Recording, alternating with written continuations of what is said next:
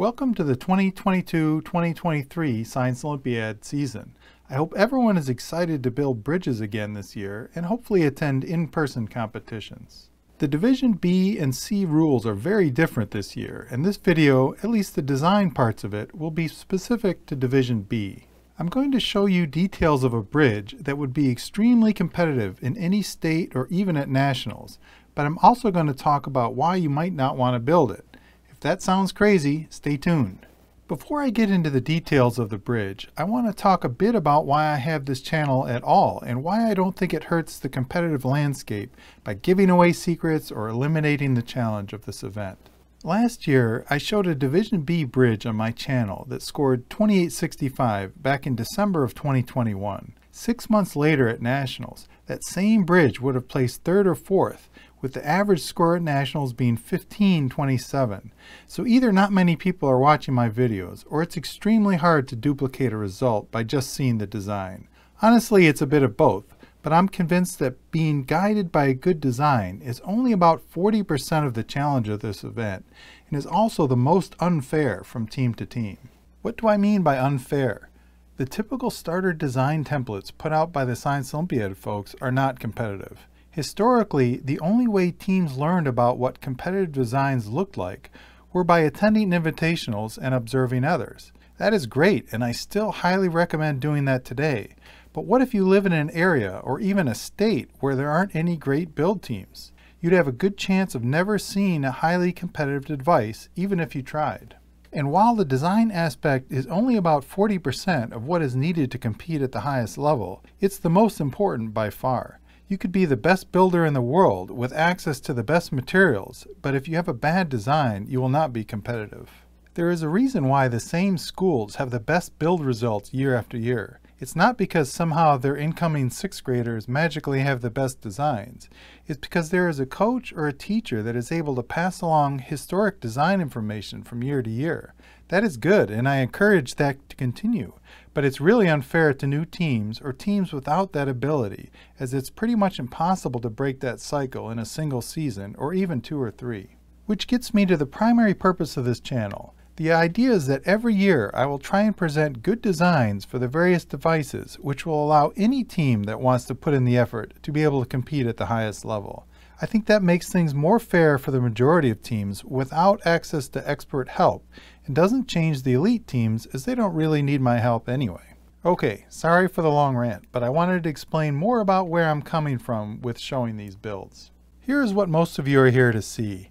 This was my first build of this season, and as it turns out, it might also be my last. It was just 3.39 grams and held a full load of 15.3 kilograms for a competition score of 5900 and an actual efficiency of 4512. That is a pretty incredible score and is probably the most impressive Science Olympiad device I've ever built. So how was I able to build this on my very first try? Some of it was luck for sure, but a lot of it wasn't. Remember when I said about having historic knowledge from previous seasons is a huge advantage? It turns out that this year's Division B rules are very similar to what they were in 2015. The only important design difference is the 15 centimeter loading block height requirement this year. Last year, I spent an entire month and built over 20 bridges to those old rules for my six-part advanced optimization video series. I will put a link to those below in the description. I can't stress enough that everything in those videos directly applies to this year,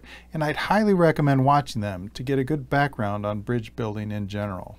I basically took my best bridge from that series, build number 14 for those keeping track, and directly adapted it to this year's rules, and this bridge was the result. Here are my notes for the build so you can directly compare this to what I did earlier in the series if you'd like. I will show the full testing sequence and high-speed footage for this bridge, but I first wanted to talk a bit about why you might not want to duplicate this bridge exactly. You might think that's a crazy idea. Why wouldn't you want to duplicate this very high score and win all your competitions? The reason is that this bridge is on the extreme edge of what is possible. Meaning that even if I rebuilt this exact same bridge, I'd estimate that there would be about a 50% chance it would fail before holding 15 kilograms. With the 2015 rules, that would be no big deal, but that highlights the other very important rule change for this year compared to back then, the extra 5 kilogram bonus for holding all 15 kilograms. Remember when I said that the design is about 40% of what is necessary to win? In a year without the bonus rule, I'd estimate that the remaining 60% is split about evenly between build skills and materials. When the 5 kilogram bonus rule is in place like it is this year, and it has been for the past couple years, there is another very important aspect to consider, and that is competition strategy. It's so important that I'd give it equal weight with build skills and materials. What do I mean by competition strategy? As a team, you need to decide how much risk you are willing to take for a given competition. For example, take this bridge that weighed 3.39 grams and held just over 15 kilograms. There would have been no way to pre-test this device to guarantee it held 15 kilograms on test day,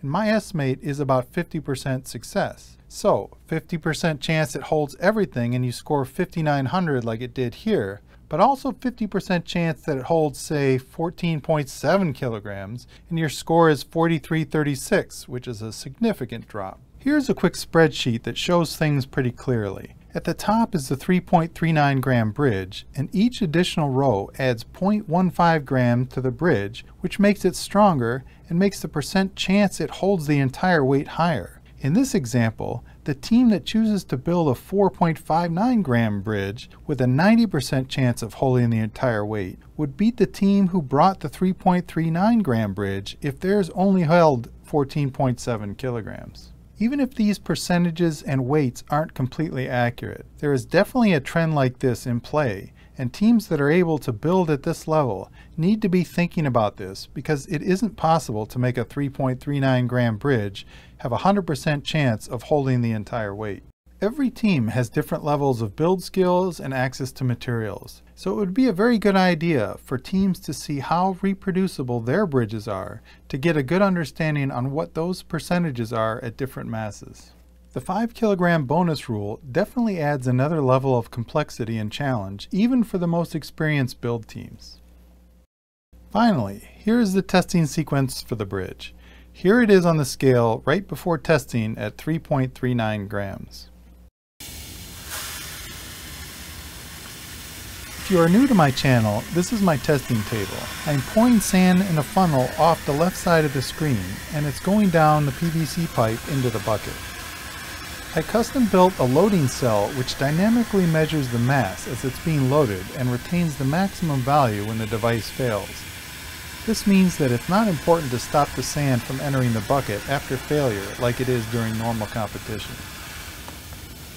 The display is measuring the load of everything below the load cell hook, which doesn't account for the dead weight above, which includes the loading block and chain. In this case, that mass is 149 grams, which gets added to the final display weight for the total mass held. If you listen carefully, you will hear a pretty loud creaking sound at around 14 kilograms. That is a big clue that damage has occurred and things are going to fail soon. If you were pre-testing this bridge, any test over 14 kilograms would have damaged it.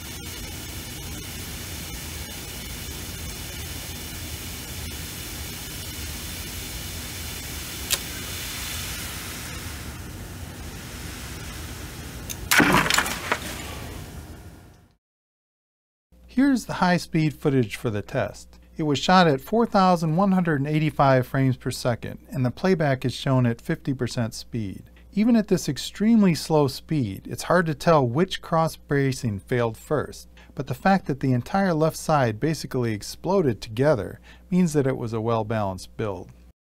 Because the legs and primary tension members survived, if you're looking to optimize even further, that's what I would focus on. I hope you enjoyed seeing this bridge and that it helps you get a jump start on this season's competitions. Feel free to reach out to me if you have any specific questions. Thanks for watching and good luck this season.